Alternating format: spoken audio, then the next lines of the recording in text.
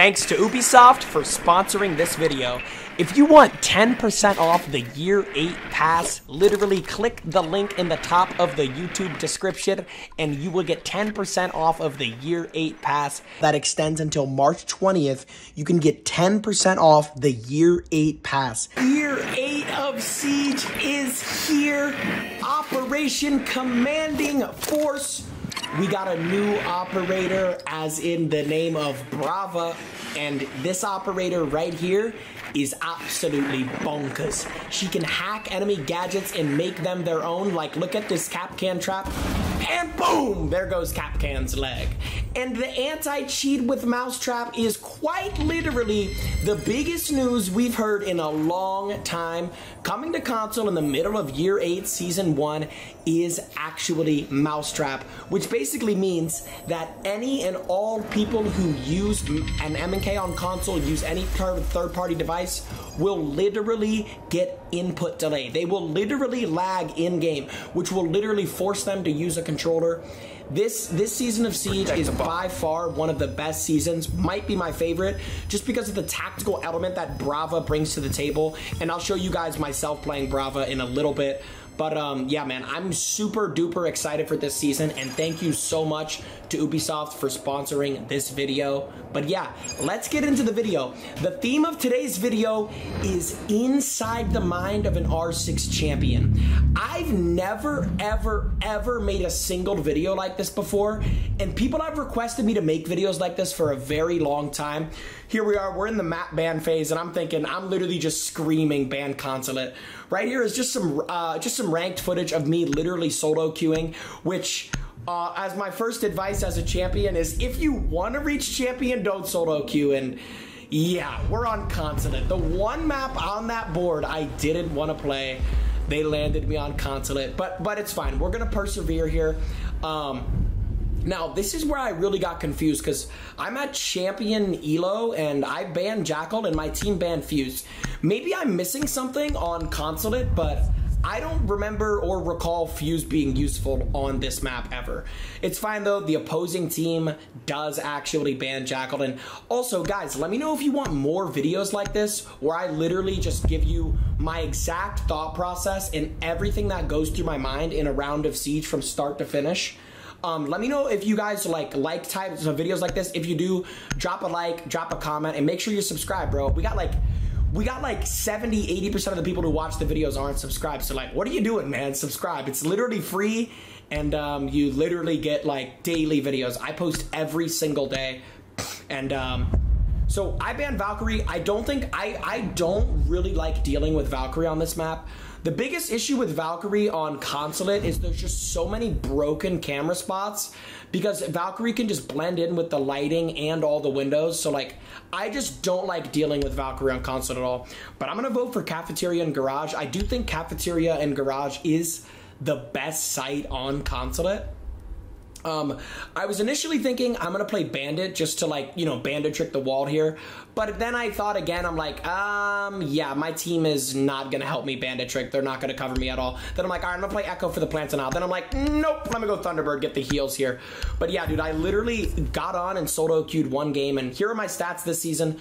So like like I said like this video is going to help you um like actually literally rank up and it's you know, I've had a great season so far. I have a 1.6 KD. I'm already champ like three, four days into the season. Secure the bomb. So like, I genuinely think if you follow through in this entire video, like I said, the Brava gameplay will be when I'm on attack. But if you follow through this entire video and like genuinely, literally, I'm not even like trying to sound cringe, but literally get a notepad out and like actually just jot down the things I'm saying. A little bit of rough aim. Oh, But um, that's what happens when you don't T-hunt. There you go. There's tip number one. I did not T-hunt before this ammo. game. You should always be T-hunting before ranked. And uh, you know that is Plasma Pink. but um, back to the uh, game here. So I'm going to get rid of this drone. Um, wow, the aim's looking a little bit shabby. I haven't been a big fan of Thunderbird since they Five nerfed her. left. But um, basically, first big tip here is always put your Thunderbirds at like the most safe locations of the attack. I see a lot of Thunderbird players putting them in sketchy spots where the attackers can get to them. You're gonna want to put them in spots where it's gonna be very difficult for the attackers to get to. And this strategy is one I've been doing for three years. I literally put a C4 on the soft wood, and then I literally wait for them to shoot open the door. They drone a little bit. They see that Visa office is clear. Then they take Visa. But there's a problem. I have two teammates roaming in Visa. I literally go to game chat. I'm like, guys, fall back, fall back, fall back. You can literally see me mouthing it out. Then Castle shoots my camera. You can literally rewind that. This is why you don't solo queue, bro. Castle just shot my camera, so now I literally have to blow this C4 up off of sheer sound cues. Literally, I have to literally just guess. Like, I have to just listen to loud footsteps and just try to, like, guess and I ended up getting a drone, and I thought I may have knocked him because I heard him proning, like right here. I heard him. But apparently he wasn't knocked. So it's like, this is what I mean by not solo queuing, but it's still possible. Like, it is still possible to hit champion solo queuing. Um, and then he's like teabagging. So I'm thinking that this guy may have recognized me. That's what I'm deducting. But then I'm I, I see him go down and I, my recoil is just right over his head. And you know, I get it. I almost smack the camera, but it's fine. Just one round. My teammate was kind of messing with my head a little bit. He was talking in game chat, so I just went to my own party and let it all out. Um, but now, like what a champion does, what I'm doing right now is I get on cameras. Like when a round, when you are dead, bro, you should always be on camera. Now, this is a 4v1 here, but I, like, you know what I mean? There's only so much I can really call it out, but you should always be on camera, bro. That is the biggest thing that a lot of players don't do. They like to spectate their friends. And I get it, it's funny, but dude, you gotta get on camera. It's literally the most important thing you can do. And this guy actually almost clutched it. So then you see me heading into game chat. I'm calling out. I'm calling close left on the floor. I'm calling close left for him. I'm like, close left, close left, close left. Bang! Ah, 1v1. Then I'm like, last guy's on the breach, breach, breach. You gotta go. You gotta go. Then he's like, Jynxzi, what should I do? I'm like, bro, stick a, stick a defuse, stick a defuse. It's your best bet. The only mathematical way you win this is sticking a defuse, stick a defuse, stick a defuse. And he almost gets it, but we lose round one. It's not, it's not a big deal. Losing rounds is part of the game. It's all about just analyzing what he did wrong there. The biggest problem with that round is I probably shouldn't have been roaming. I probably should have just helped my team in sight. But um, next round, I'm to be showing you guys one of my favorite little spawn peeks that I do on this map. I'm basically, because like, I, and this is another thing that most R6 champions, if not most, almost all, have like little books. Like, not, not, not physical, literal books, just strat books. Like, strategies in their heads that they like using um, on certain maps. So like Consulate, the one I'm about to show you is um is like literally my it's like my favorite spawn peek on this map. But we're losing 1-0. You know, we got to keep our head in the game here. It's just one map. I'm or one round. I'm still not even sure why Castle shot my camera. But um, so basically, what I do is, um, you know, obviously, another thing that champions do is look at how I set up side. Okay, I make a rotation on one side of the wall, head holes on the other side of the wall, and then reinforce the single wall. This is gonna make this objective much, much, much, much more difficult if you are an attacker. Like, if you're an attacker, this is gonna make the objective so much more to uh, uh, um, attack if you're literally on those windows. Guys, I'm sorry if I'm like this is the first time I've ever done a video like this where it's just 20 minutes of just straight voices. So I'm trying my best here, but I always put barbed wire on these stairs. I think putting um, two sets of barbed wire here is always really good because that staircase is really active. Here is the spawn peek I love to do on this map. This spawn peek is so good because I'll show you why. You make a little slit there, you don't break the glass, that's important. And then I can actually go on the camera outside and like utilize this camera. So I'll show you in a moment. When you see me crouch down and get on the camera, you can see that I can actually see almost all of this spawn. Even if somebody hypothetically, and I see Iana, look at Iana, I see, I see Iana repelling up and I, it's showtime. Right now it is showtime. I gotta just wait and there it is. Boom. There's the angle and that's just how you gotta play, bro. You gotta use your ability, and it's a 5v4, and there you see me screaming. I'm literally just screaming at my monitor right now. I think I said slammed. Yeah, yeah, I definitely said slammed. So now I'm in a 5v4 scenario, 2 minutes 18 seconds on the clock. I'm just chilling. Like I said, utilize cameras. R6 champions utilize their cameras, whether they're on attack or defense. Utilizing cameras is the most important thing.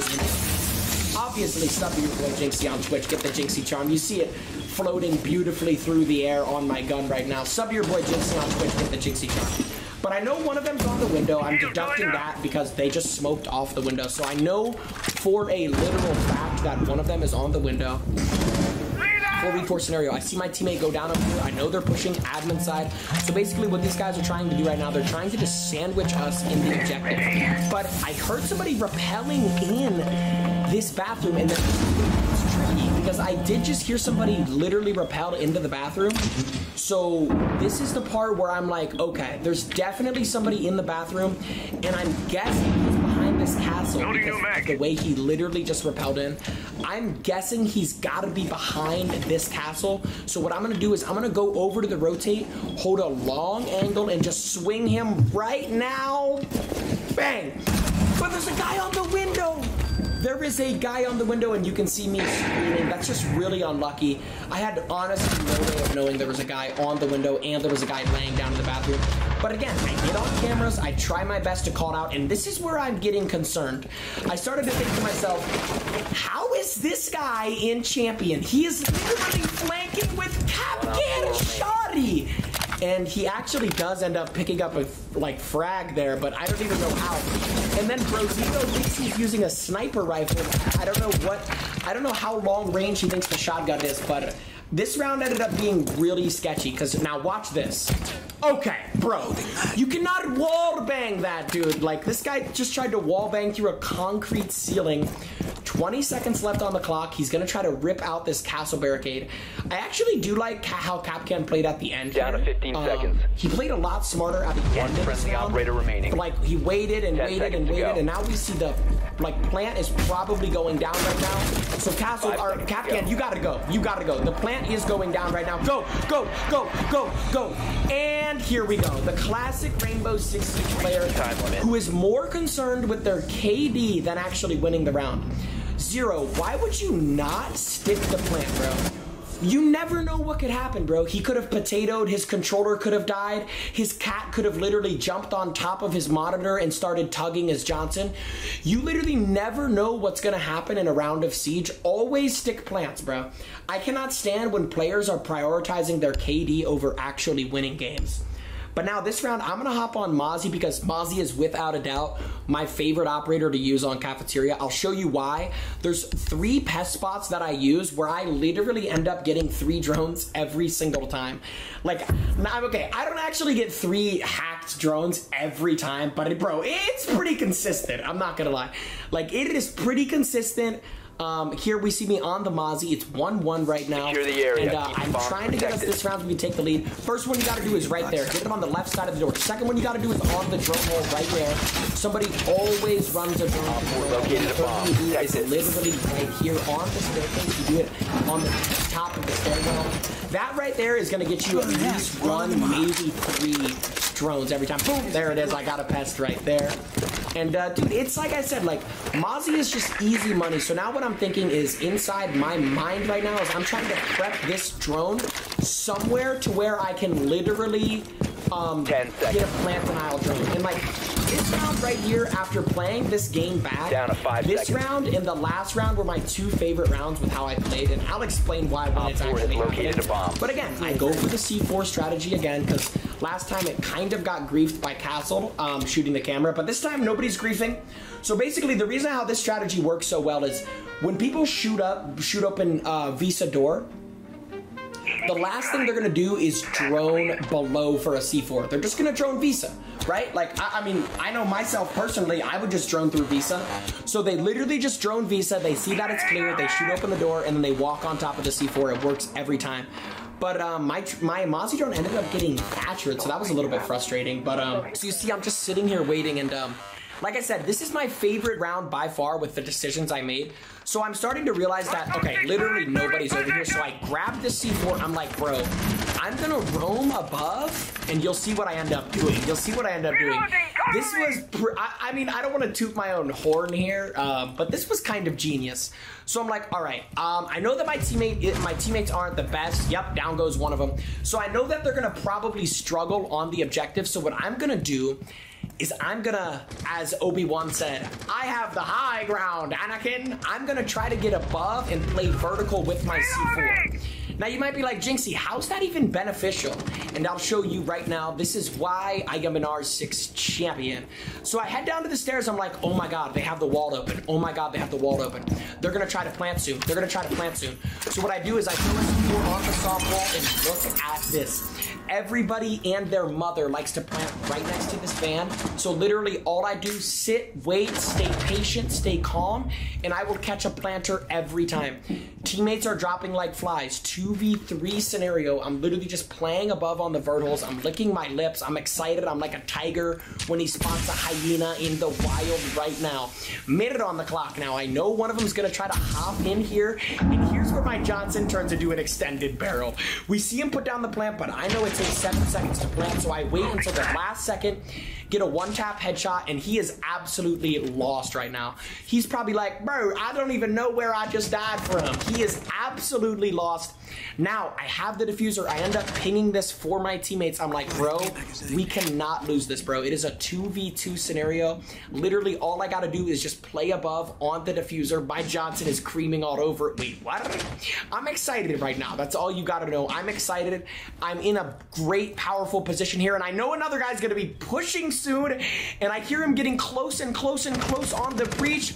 Kapkan's under fire, but boom, I saved his life. 2v1 scenario, and again, I'm in the most powerful position ever. Time expired. 10 seconds 10 on the clock, and down goes Kapkan, and then I actually tag up Ace, but he gets away, and now I know he's planting. I gotta do the dash. I gotta do the dash. I gotta do the dash. I gotta do the dash. I'm dashing. I'm dashing. I'm dashing.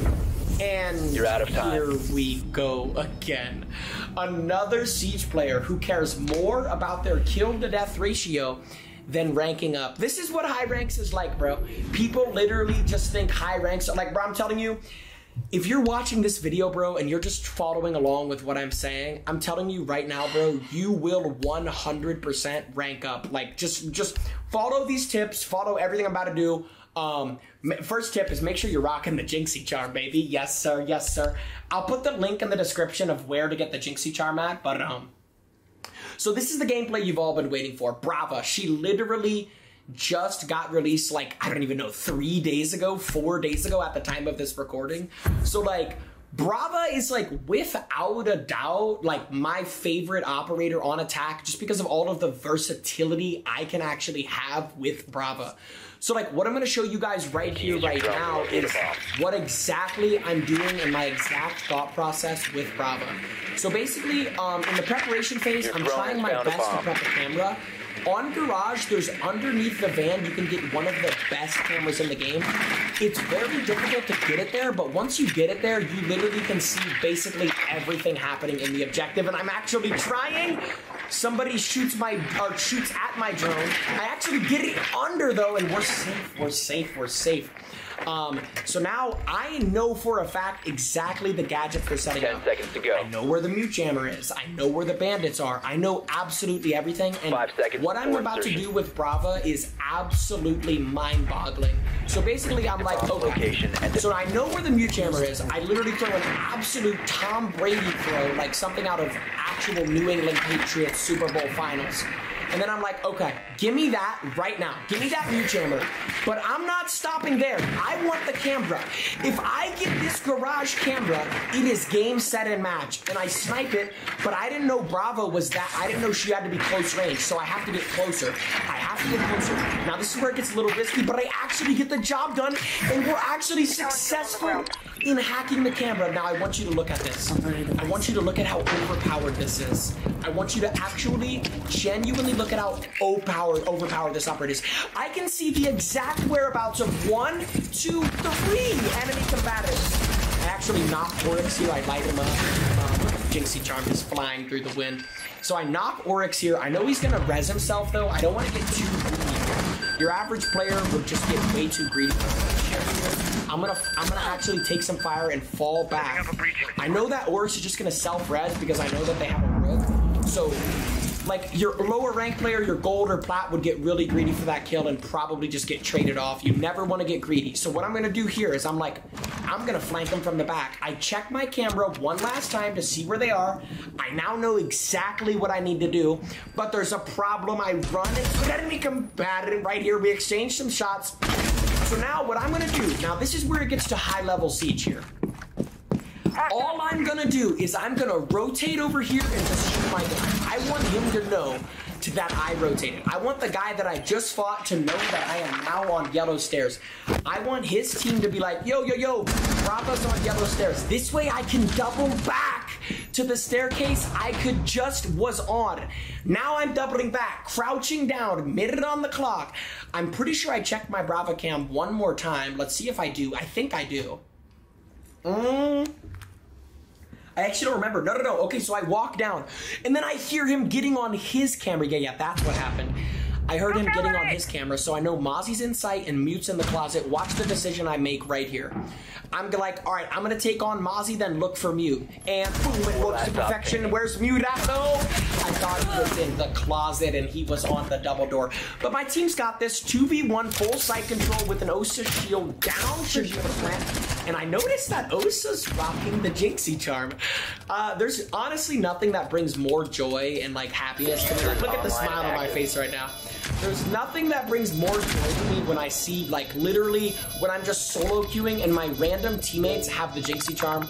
Like, eh, dude, big shout out to everybody who has the Jynxzi charm. Like, it is truly amazing, bro. Like, um, but 2v1 scenario, pretty easy round. I mean, there's not really much you can do in a 2v1 scenario post plant with an Osa shield down. Like, it, it's tough. Like, you can't really expect Mute to win that.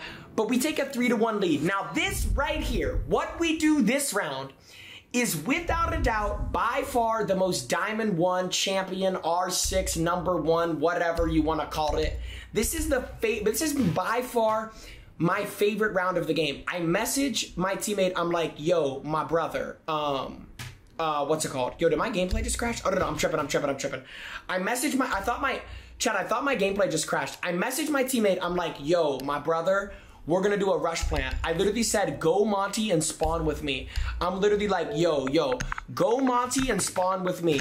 Because this rush strat, I, a lot of strats like you see from champs, you know what I mean? It's stuff that they learn from other champs. This strat right here, I swear on everything I love, I literally made it up myself. All you need is a gridlock and a Monty.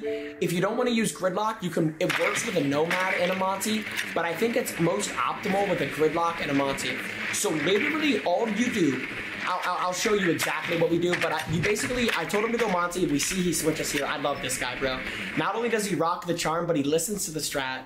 He switches to Monty, and then in a few seconds here, he spawns with me. So I'm like, bro, literally, this is all I'm thinking right now. We are literally just gonna go for a rush plant. We're gonna shoot open the windows. All you do is quickly gridlock both of the doors, and then you literally just have Monty stick his head in one of the doors. I didn't even have to tell him exactly what to do with Monty. This guy just understood understood the assignment. He's a great player. He knew exactly what to do. So you literally just have a Monty just shove his head in one of the doors.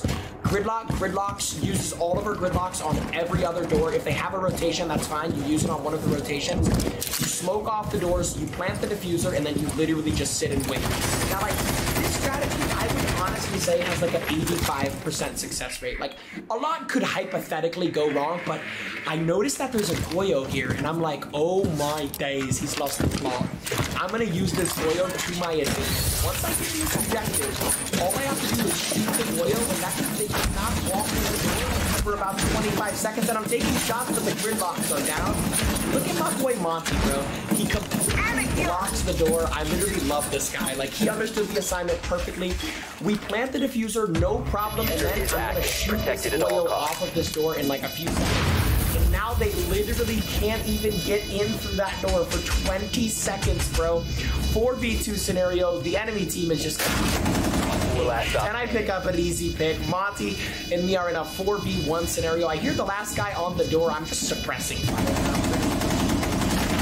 um, yeah, man, it's just easy elo, man. It's easy elo all day long. Guys, if you want an episode eliminated. two Friendly of Inside the Mind of a um, Champion, get this video to 10,000 likes, and I promise you, we will bring back episode two of Inside the Mind of a Champion. I think that these videos can be very beneficial, and uh, if you guys enjoyed the video, drop a subscription uh, to the channel, comment, and like. I love you guys so much. Thanks to Ubisoft for sponsoring this video. If you want 10% off the Year 8 Pass, literally click the link in the top of the YouTube description and you will get 10% off of the Year 8 Pass that extends until March 20th. You can get 10% off the Year 8 Pass.